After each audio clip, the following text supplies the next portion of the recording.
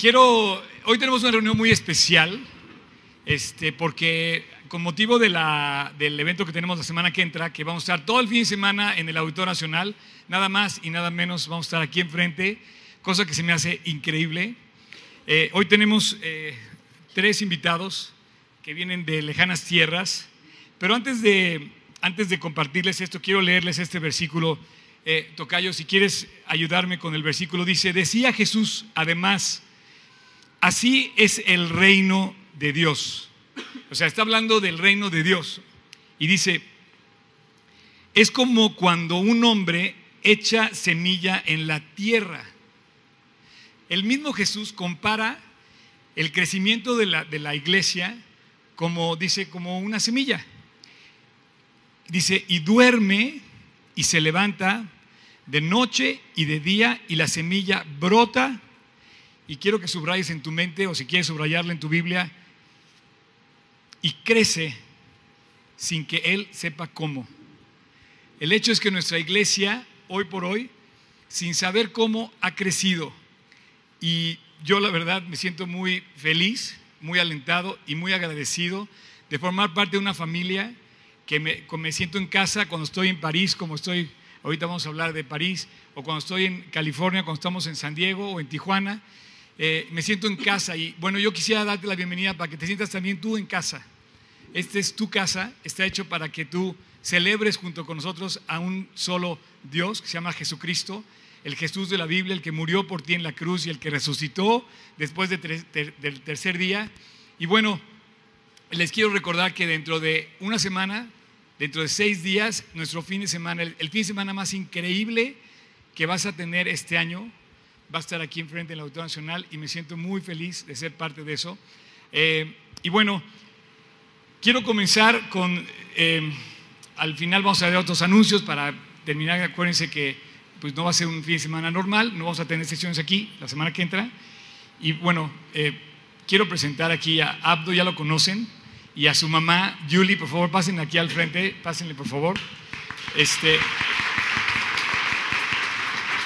pásenle más adelante. Aquí más, más, más. Hola, bueno, mucho gusto. acá si quieres. Hola. ¿Ya está? Ok. Perfecto.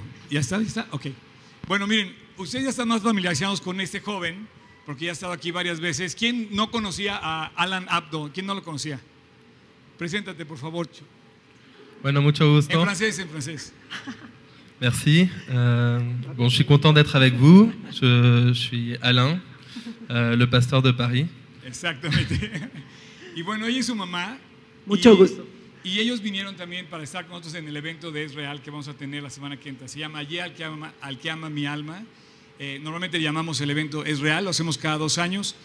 Y bueno, yo quise aprovechar que, que, tenemos a mucha gente de muchas partes en México, pero hoy fue posible que tú estuvieras, Julie. Me da muchísimo gusto tenerte aquí.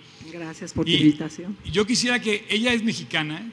Cuéntanos, a ver, ¿cómo, cómo conociste a Cristo?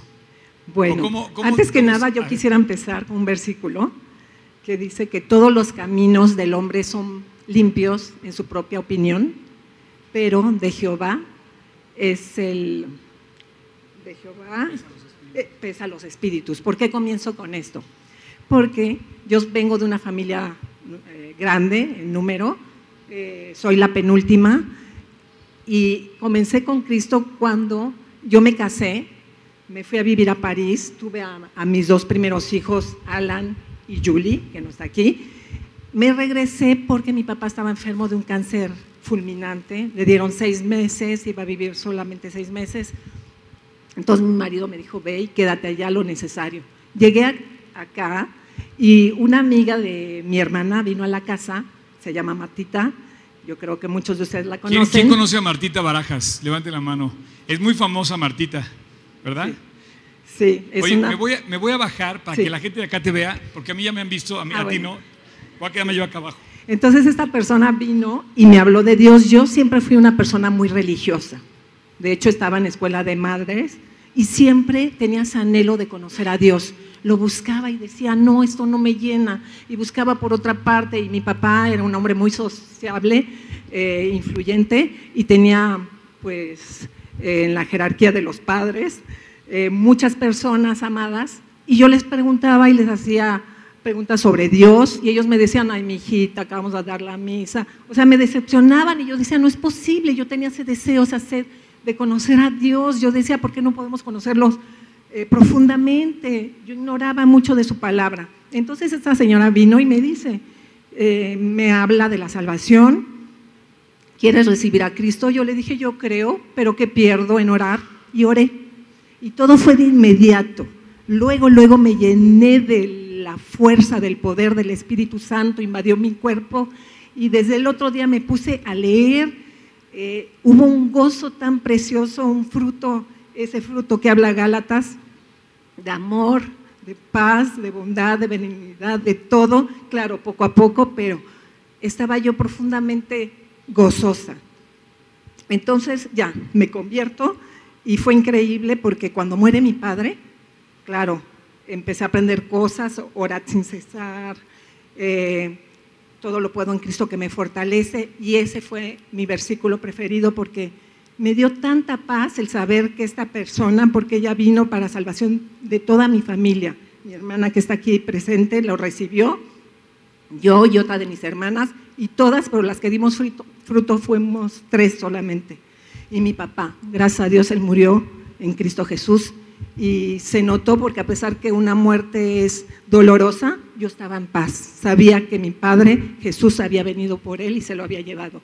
Y bueno, y así pasa el tiempo, yo me, voy, me tengo que regresar a París, no tengo discipulados, pero esta persona me dice, Martita, tú lo que debes de hacer es leer y me da todo el régimen de lectura, como hay que hacerlo, la dieta, que debe de ser bien balanceada para nutrirse y llenarse de Dios, del Espíritu Santo, porque yo quiero decirles que lo más importante en mi vida fue eso, la lectura.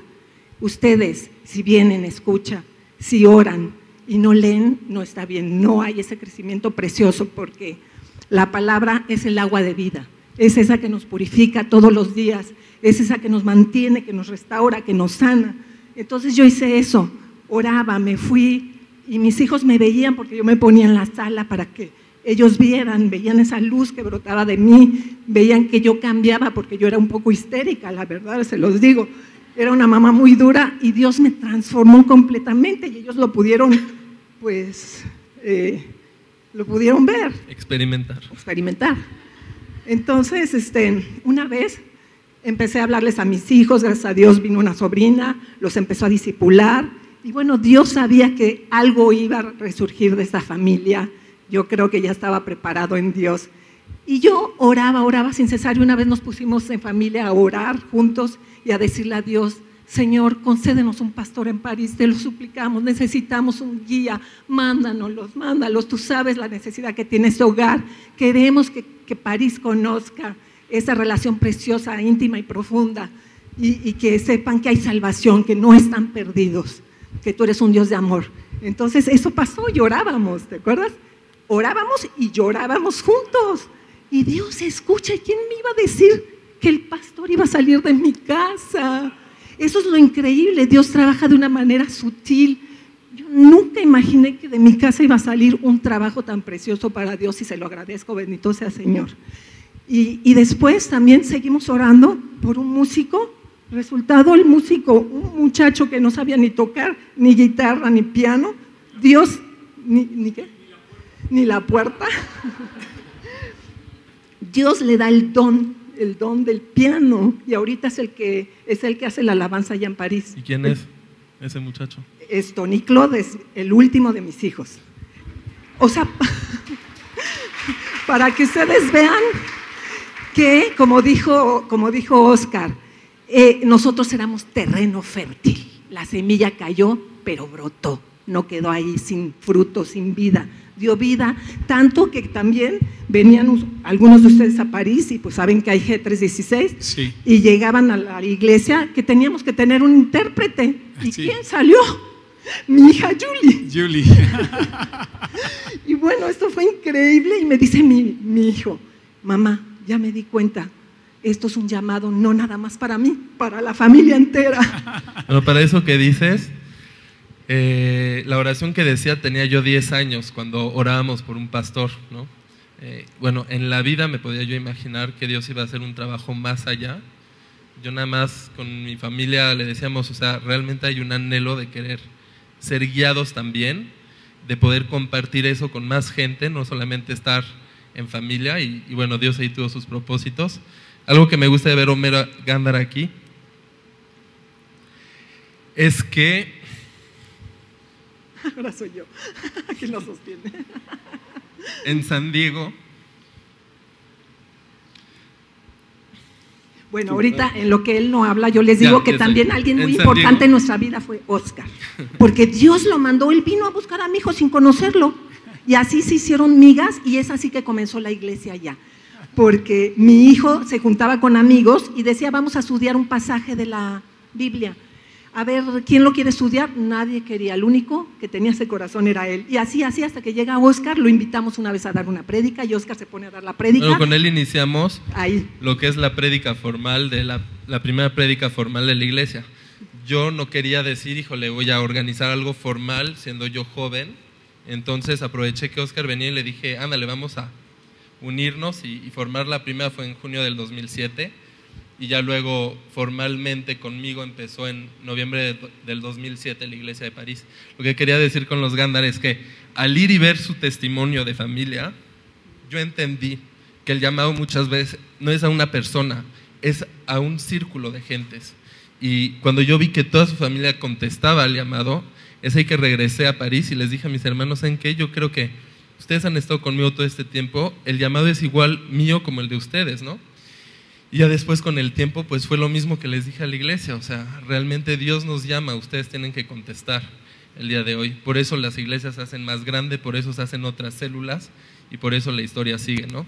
Yo quería preguntarle, Julie, eh, qué padre que estás aquí porque como muchas mamás, eh, tú te regresas a una ciudad que pues no, no buscaba a Dios con cuatro hijos y Dios pone en tu corazón el mantenerte fiel a Cristo, ¿no? Y entonces comienzas a estudiar eh, a través de la distancia, a través de en línea, te, sigues estudiando la Biblia con Martita Barajas y tu fidelidad, tu constancia, tu crecimiento en la palabra, como dices, fue un testimonio que se llevó eh, delante de tus hijos y de tu esposo. Y tengo un cuarto hijo que les digo, él estaba medio enfriado, pero ahora ya Dios lo está así llamando y veo que muy pronto algo va a suceder en su corazón. Porque quiero decirles que este hijo cuando estaba chiquito dijo, ay, los trejos, todos son pastores. Yo desearía que nosotros también fuéramos pastores algún día, los hombres. O sea, que Dios algún día moverá su corazón de pues José. ya, lo ¿no? Entonces yo sí, quisiera nada más. de mi marido. ¿Qué pensabas cuando estabas sola en París, como mujer, como mamá, con cuatro hijos? Nunca me sentí sola. Nunca. Es algo increíble y se los recomiendo. Siempre Jesús estaba conmigo y yo estaba fortalecida. Y si alguien me quería apachurrar de mis sueños, de, del amor, de la pasión de Cristo, yo no me dejaba. Yo recordaba las promesas que Él me daba y las repetía y las repetía en mi cabeza, me aprendía los salmos y así, y decía, no, tú haz resplandecer tu rostro en mí, en mis hijos, en mi familia, que se haga un trabajo grande en este país. Hay, un versículo en la Biblia, Julie, que dice, no tengo mayor gozo que ver a mis hijos andando en la verdad. ¿Qué sientes? Pues siento una gran felicidad y lo estoy viendo cumplirse en mi vida. Gracias Dios, bendito seas y alabado por toda esta asamblea y por todas las naciones. Amén, en el nombre de Cristo. Muy bien, Abdo, ¿algunas ¿algo más que quieras decir? Bueno, eh, me da mucho gusto ver a mi mamá platicar. No es una mujer que, que, cuenta mucho su testimonio, que platica con, con, diferentes iglesias. De hecho, yo creo que es la primera vez en, en iglesia. Otra primera vez aquí. Con... eh, eso me recuerda muchas cosas, ¿no? O sea, en, en, la vida cada quien va a ser utilizado para algo. Mi madre es una mujer muy en el secreto. Un poco como Andrés con, con, Pedro, ¿no? Todos ¿Saben quién es Pedro? El gran Pedro, el que convierte a multitudes. Y, este, y Andrés luego se, nos va porque no sabemos muchísimo más, pero sin embargo él es el que llevó a, a, Pedro a, Cristo. Y yo en mi madre he, visto, he visto eso, o sea, ha sido un gran ejemplo para nosotros. Eh, ha sido una mujer de fe, o sea, ella ora cuando hay el problema y que de repente nos estamos nos estamos, nos estamos así este, preocupando, lo que sea, ella ya está orando, nos ha dado un muy buen ejemplo, por lo cual yo las invito a todas las madres de, pues de perseverar, porque los hijos las están viendo, sus reacciones, sus actitudes. Yo creo que ella ha, ha fomentado mucha fe en mi carácter, porque lo pude experimentar en ella, así como dice que nunca nos sentimos solos, fue verídico, o sea, no, no, no sufrimos la soledad en París. Éramos una iglesia en casa de, de, puros hermanos y, y, y, mi madre, pero queríamos pues, que esto se estructure y que luego Dios lo, lo vaya guiando para más. ¿no? Hoy, hoy, ¿cuánta gente tienes que se reúne ahí eh, en París y cada cuándo se reúnen? Bueno, miembros somos entre 25 y 30. Eh, cada semana obviamente hay gentes que vienen, otros que no. Y, y, bueno, es una, París es una gran capital, hay años en los que hay más gente, otros en los que se fueron, otros en los que estudian, eh, vemos pasar mucha gente. Eh, lo importante es que dentro de ese grupo hay un grupo de unas 10 personas que son discípulos, que, que toman tres veces conmigo discipulado por semana, que toman con mi mamá. Aquí está mi tía Adela, que está con nosotros en París, que es discípula de, de, de mi mamá. Y, este, y bueno, entonces los discípulos son los que nos dan toda la esperanza para el campo misionero, la esperanza para el desarrollo de la iglesia, porque son ellos los que van a estar trabajando y obrando para que esto crezca no para nuestra gloria, sino para la de Dios y llevar más gente a Cristo, pues para cumplir la gran comisión.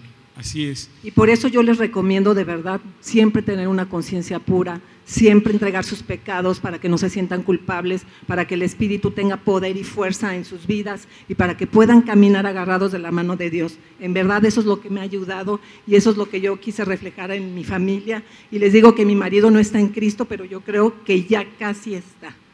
¿Y saben por qué? Porque le dije, mi pasión es Cristo y tú has perdido mucho tiempo no lees, no, no haces nada. Por favor, ¿te puedo leer?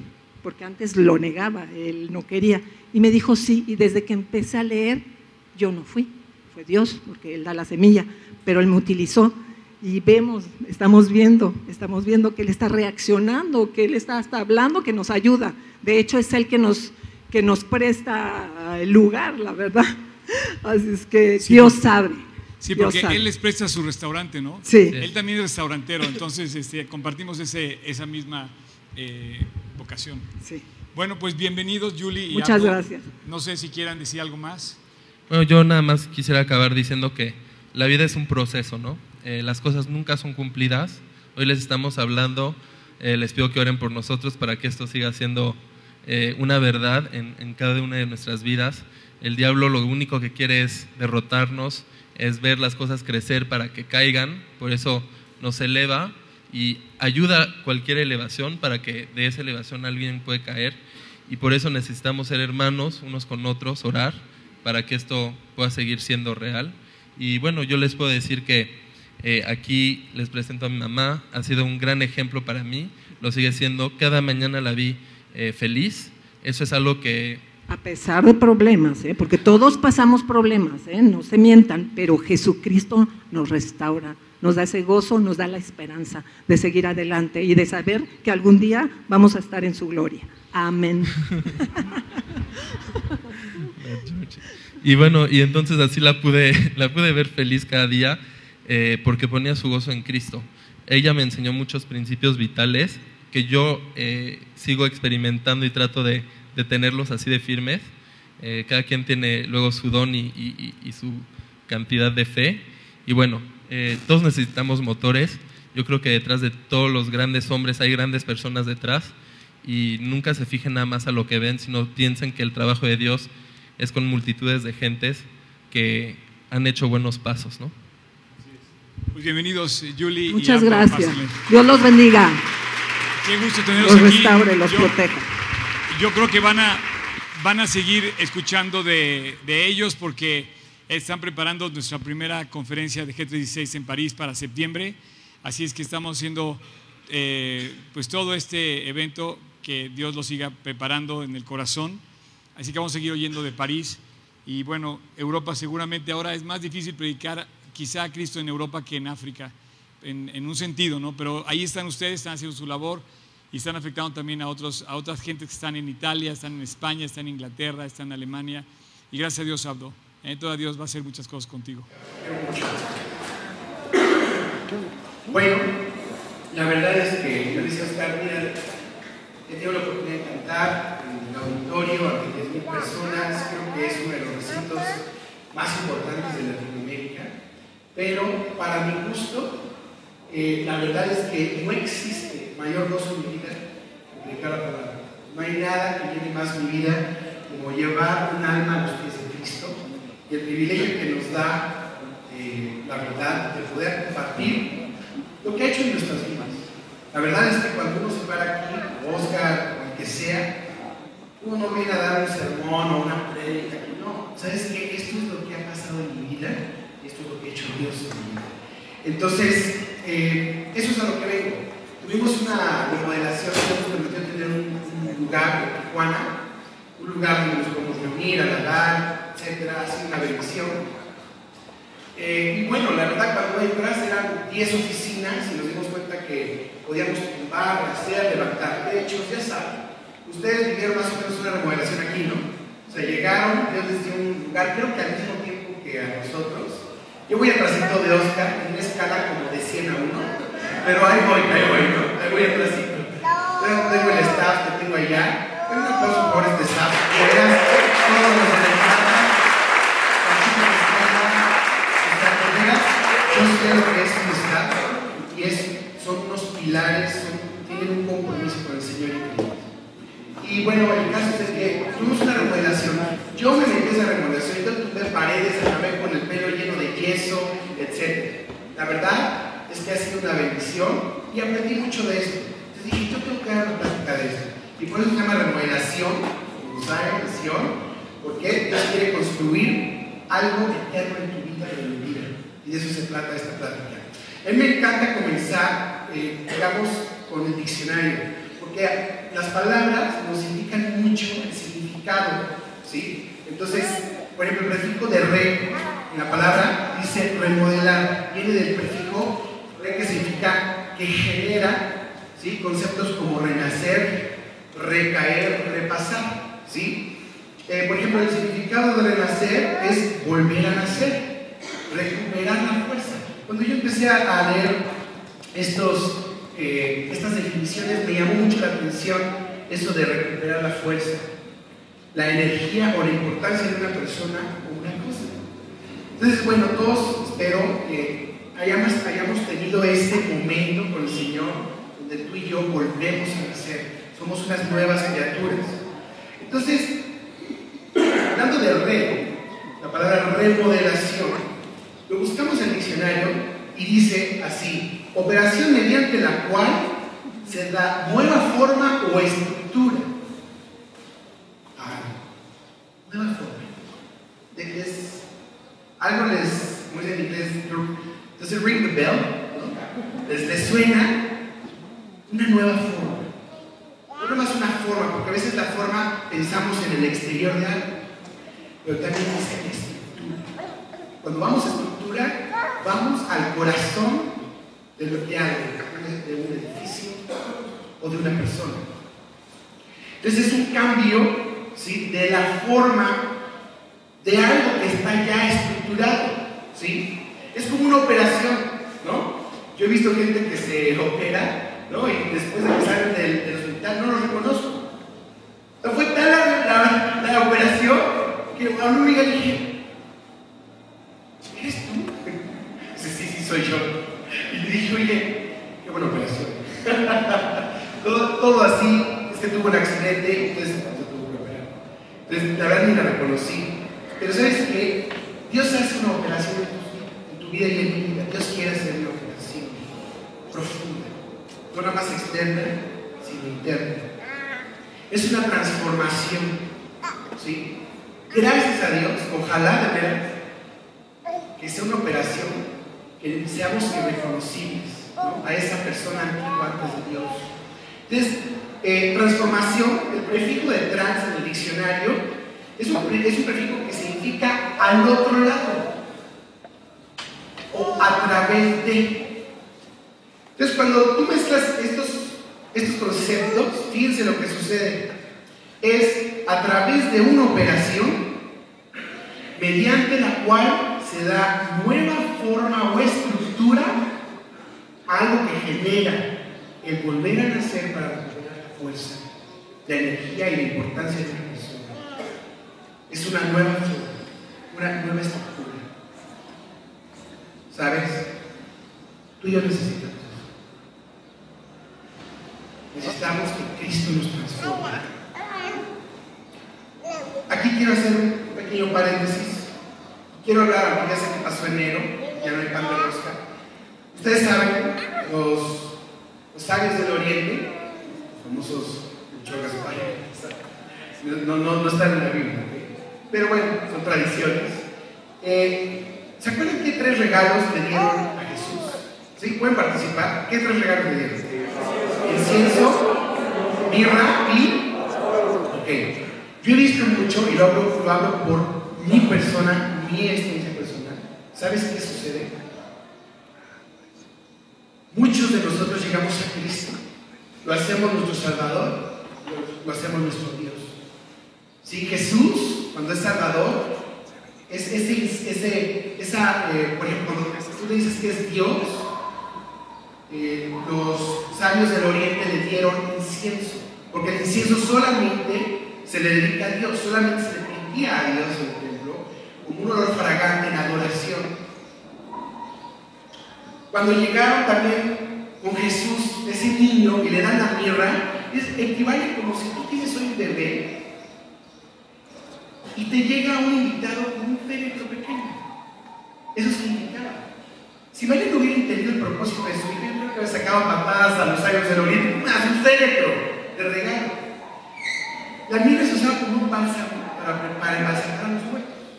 Entonces ellos estaban diciendo, ese niño va a ser mi salvador, a morir por mis pecados, por mi infierno. Pero aquí es donde quiero hacer un énfasis, en el oro. El oro solo se le daba a reyes, solamente. ¿Se acuerdan de la reina de Saba cuando fue con Salomón? ¿Qué le trajo? Oro. Siempre es un regalo a reyes. Y aquí es donde yo veo que muchos creyentes nos podemos adorar en nuestra vida. Hay un dicho que dice, si Dios no es rey de todo, no es rey de nada. Dios quiere que sea el rey de todos los cuartos de tu, de tu, de casa. Jesús no vino a estar en la sala de espera. Jesús no vino a estar en la covacha ahí arrumbado. Jesús vino a ser rey entonces hoy la idea es que tú le entregues el oro de tu corazón. Y a veces parecemos como piratas, o más bien que escondimos el tesoro y a veces le damos un mapa, pero no complicado, lo que le sigue, ¿no? Ah, no, tienes que ir por la llave a tal isla y después tienes que ir por la brújula mágica para que te guíe el tesoro de mi corazón. Y Dios está en la búsqueda de que tú le des el oro de tu vida. Dios quiere ser el rey de toda tu vida. Y esa es la invitación. ¿Qué te puede llevar algo en tu mente? Es que Dios te ama como eres, pero no quiere que te quedes así. Necesitamos una remodelación, una transformación completa. Completa. Entonces, para entender lo que Dios quiere hacer en tu vida y en la vida, vamos a analizar las características de una remodelación. Entonces, el primer paso, para que Dios pueda comenzar a edificar, estamos de acuerdo que Dios quiere edificar en tu vida, ¿sí no? Dios quiere construir algo. Tú no sabes qué es, no sabes cuándo se va a tardar, ni hacia dónde te va a llevar, pero tú sabes que hay algo que Dios quiere construir. Entonces, para eso hay un paso primordial. el primero es la demolición. ¿Por qué la demolición? Cuando entré yo a la remodelación a hacer, había muchísimas paredes que no se. Había cosas que no iban a, no iban a servir para el propósito. Y así es nuestra vida. Cuando Dios llega a tu vida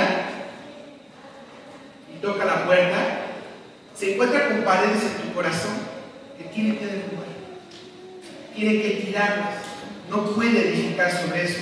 Y para eso necesitamos un ingeniero. Yo, la verdad, yo pensé que era bien sencilla la remodelación, rentamos el lugar, entré, damos a los trabajadores, mira, tírame esta pared, tírame esto, y tírame esto, ta, ta, ta. Muéveme acá. Y un día se me ocurrió a un amigo ingeniero invitarlo a que viera.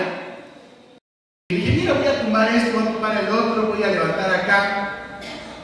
Y me dijo, oye Dani, eh, oye Dani, me dijo, si tumbas esa pared, se te va a caer el techo. ah, bueno, no la, ok, no la tengo. Dije, mira, voy a tumbar esto, estorba. Oye, Dani, si tú vas eso, se te vuelve a venir el techo porque es un pilar.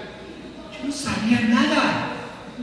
Tienes que entender que lo que Dios quiere hacer en tu vida y el proceso, ni tú ni yo entendemos, ni sabemos lo que necesitamos, solamente Dios. Entonces necesitas el gran ingeniero. Dios tiene que quitar lo que hemos edificado fuera de Él. Tiene que tirar esas paredes, pero Él sabe cómo. Déjalo de trabajar en tu vida. Ezequiel 11, 19 dice, y les daré un corazón y un espíritu nuevo pondré dentro de ellos, y quitaré el corazón de qué? De piedra, de medio de su carne, y les daré un corazón de carne. ¿Por qué? Bueno, la palabra es muy clara. Me encanta que tenemos un Dios así, de frente. Dice Ezequiel 11:20, para que anden en qué? Mis ordenanzas y guarden mis decretos. Y los cumplan y me sean por cuenta y sea a ellos por Dios. Ah, ahora entiendo. Por eso no he podido cumplir, por eso no he podido andar de acuerdo a la palabra. Porque no he dejado que Él saque esa piedra del corazón. Y Él realmente me dé un nuevo corazón. Al final mi papá les va a explicar de esto que Él puede hacer en tu corazón y en el mío. Pero Dios necesita hacer la transformación por completo. Entonces el primer paso es porque al Él dejarlo que trabaje en tu vida y en la mía, es que vamos a poder vivir de acuerdo a su voluntad. Y en segundo, es para su gloria. Filipenses 3:21 dice, el cual transformará el cuerpo de la humillación nuestra para que sea semejante al cuerpo de la gloria suya, por el poder con el cual puede también sujetar a sí mismo todas las cosas. Entonces, transforma este cuerpo de humillación para que sea semejante al cuerpo de qué? La gloria suya. Dios quiere gloriarse en tu vida. Cuando Él edifique en tu vida y la gente voltea a verte, no, no quieres que vean a Daniel Gácara o a tu nombre. Quieres que reflejar exactamente a Cristo. Si estamos reflejando algo diferente, la gente puede verte a ti, estamos reflejando a Cristo. Tenemos que reflejar al Señor. Y es por esta misma razón, eh, no sé si te ha pasado, a ver, levantamos un pequeño censo. El día que empiezas a entregar tu vida a Dios, empezaron broncas empezó a ponerse difícil el asunto. Oye, Dios, me estoy acercando a ti, tengo 15 años, 5, 20 o 30 sin acercarme a ti, me acerco Empiezan los problemas, los achaques, la familia, el trabajo. Bueno, ¿por qué suceden estas cosas? No siempre, pero hay un punto. Como dije, Dios te ama como eres, pero no quiere que te quedes así. Tú le pediste que entra tu vida, ¿no? Bueno, invitaste al ingeniero, el ingeniero está trabajando, está empezando a derribar tus estructuras. Tiene que tumbarlas. Todo lo que hemos construido fuera de Dios no va a ser útil Según Corintios 5, 17 dice, de modo que si alguno está en Cristo, ¿qué? Y tú quieres seguir siendo esa criatura espantosa antes del Señor, ¿no? Dios, pero ¿por qué me quitas esta cara? El Señor te ve no, te has visto. Gracias a Dios, quiere transformar. El segundo, entonces el primero es un ingeniero de ingenieros que es Dios. El segundo, ¿qué necesitamos? Planos. ¿Quién es arquitecto aquí? Levanta la mano. Oigan, les digo algo. He hecho tres pláticas de esta y las tres ha habido solamente un arquitecto y un ingeniero. ¿Cuántos ingenieros hay aquí? ¿Cuántos? Chavos, váyanse a hablarle de qué está esta facultad, porque falta, falta este, llegar a esos jóvenes. Bueno, necesitamos al arquitecto de arquitectos. Él tiene un plan maravilloso para tu vida. Déjate hay un plano. Y tú y yo sacamos nuestras crayolas, vemos el plan de Dios y, a ver, empezamos a colorir. Dios, espérame, espérame, espérame. Este proyecto es celestial. Pues, ¿Cómo te pones a, modificarlo? Señor, es que me gusta aquí ver el pastito y empezamos a rayar y a pintar sobre los planos. Dios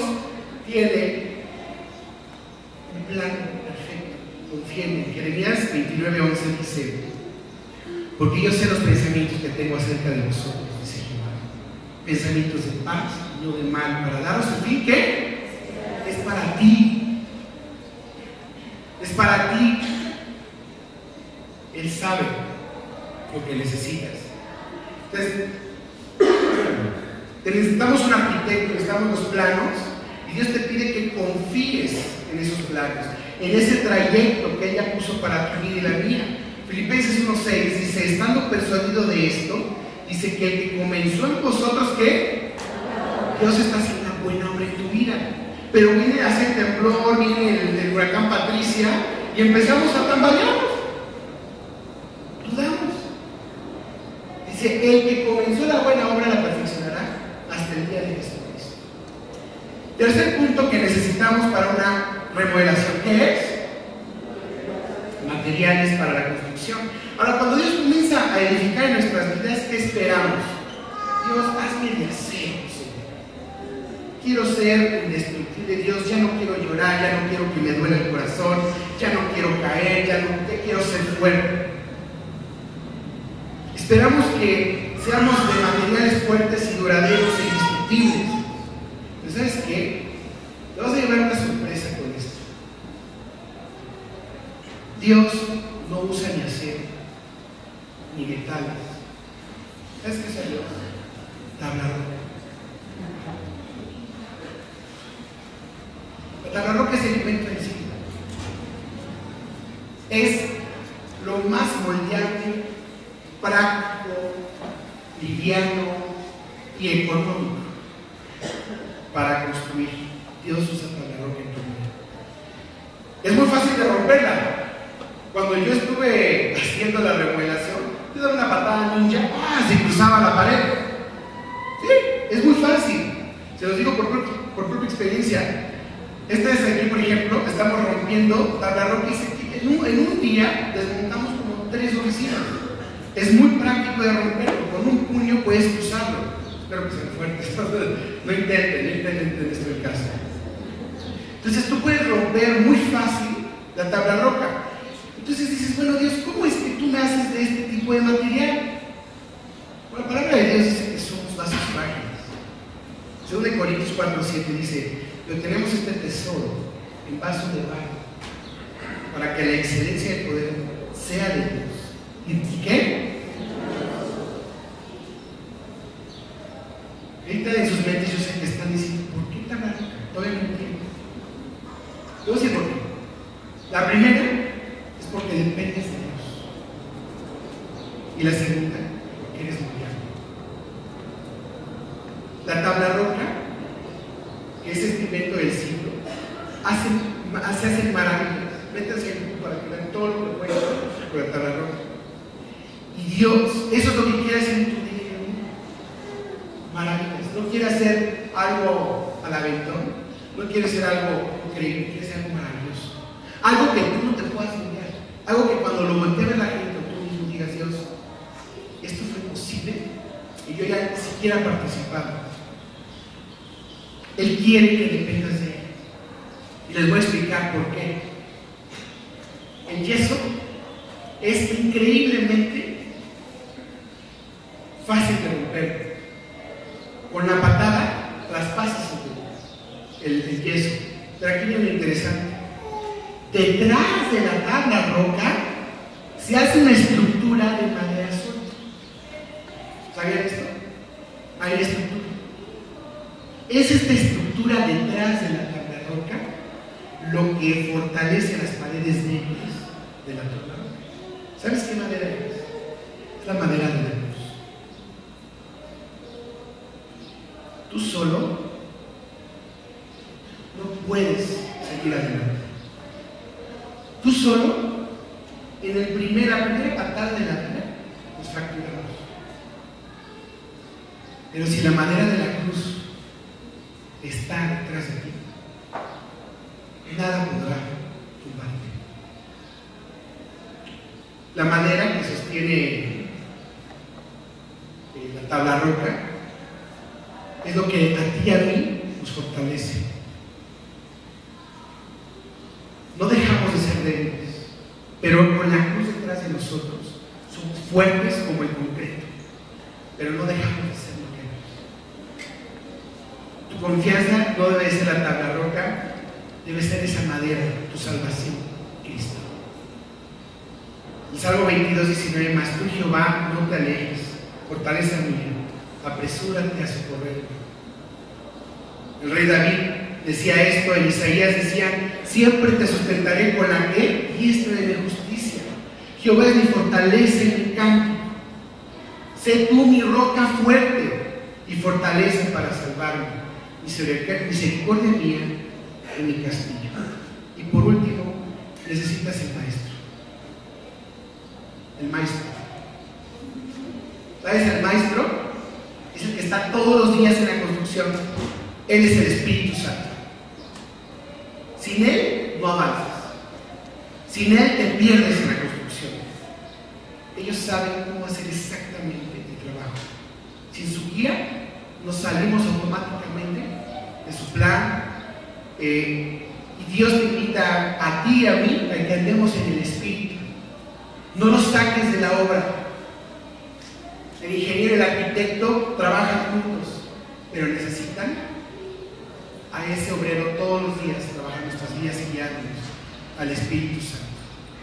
Romanos 8:6 dice, porque el ocuparse de la carne es muerte, pero el ocuparse del Espíritu es que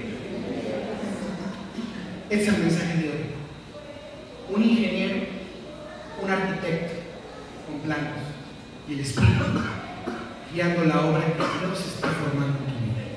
Dios los bendiga. Muchas gracias.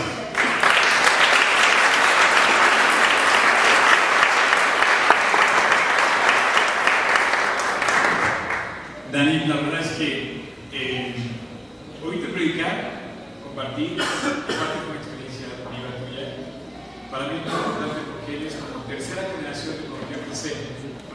Entonces me da mucho gusto que Dios te esté usando y que te haya permitido construir eh, pues este lugar allá en Yo lo conozco, a mí me gustó mucho el que fui, me sigo sorprendiendo todo lo que nos Si hay cosas que tirar, si hay, si hay, si hay que remover, definitivamente estructuras que quitemos de quitar que no debemos conservar en nuestra vida. Tenemos que dejar al maestro que se ponga y me interese todo y lo haga brillar. Yo empecé a pintar y así, dijo, no, no, no, mírame, este, vas a echar a perder la pistola de pintura. O sea, no sabemos hacer nada. De verdad, yo me cuenta que era así como neófito, pero en la construcción. En la construcción. De la clase de la constructura. ¿Quieres, ¿Quieres decir algo? ¿Qué va a ser tu participación en el real? ¿Quieres Sí, claro. La verdad eh, es, como les digo, lo que más me encanta es predicar y que las Creo que tengo un ministerio con los de Uber. Siempre acaban llorando, no sé qué traen los Uber. Van a ir varios al evento. Y hace dos años, mi sobrina judía se convirtió en Israel. Entonces, si un judío se convierte, la verdad es que es una bendición. Estar ahí, te olvidas ya de lo, de lo técnico. El Señor toma tu vida, los toma ustedes y nos sube un canto para alabarlo a Él y ganar las almas. Nunca imaginamos lo que en casa de tus padres, ¿te acuerdas? En una sala de 15 personas. Solo es una sala muy grande y hay más de 15 personas. Y la verdad es que estar en Dios real es un privilegio. Espero que Dios me dé vida y la oportunidad de seguir Oren mucho, por favor. Ahorita vamos a pasar y ya están corriendo. Oren, porque el diablo está, o sea, está fúrico. Está fúrico. mientras sigue el diablo atacando, es una buena señal. Estamos trabajando para el Señor. Oscar, tu, tu, tu congregación participa increíble. motivan desde aquí, se siente la motivación y la energía con las redes sociales, con los amigos, los posts. Gracias por, tu compromiso con ese escucha. Yo sigo atrásito de ti. Relación 100 a 1, pero ahí. Somos compañeros de mi Un aplauso para Dani, por favor.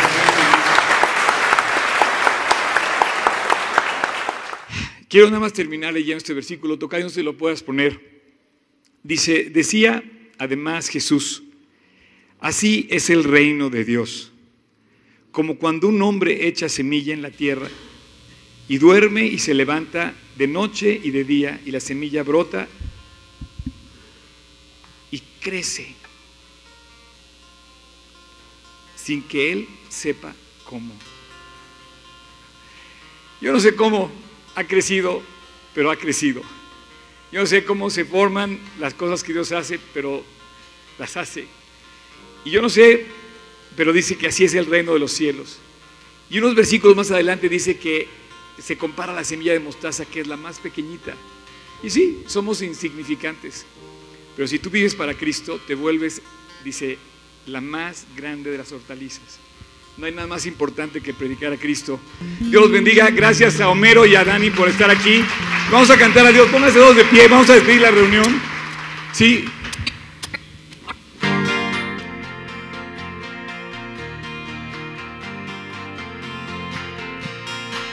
Tú me estás llamando. Tú me acercas